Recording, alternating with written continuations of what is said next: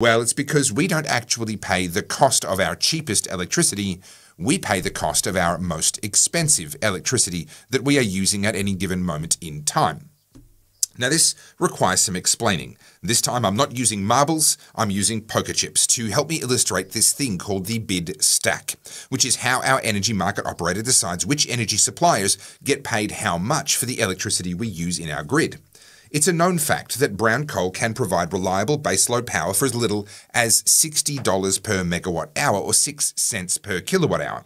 Black coal costs a little bit more, now, that's the wholesale price, so obviously the consumer price would have to be significantly higher to cover the cost of the transmission and all of the infrastructure that's needed to get that power to our homes and businesses. So I'm not suggesting that 6 cents per kilowatt hour should be our retail price.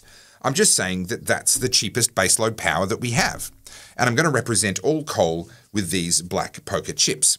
Then there's gas. Now, gas is considerably more expensive than coal, but still very cheap as a baseload and peaking power supply. What do I mean by that? Well, over the course of every day, how much power we need in the grid fluctuates quite dramatically. And the input of power to the grid needs to very closely match the consumption of power in the grid, or else bad things start to happen very quickly.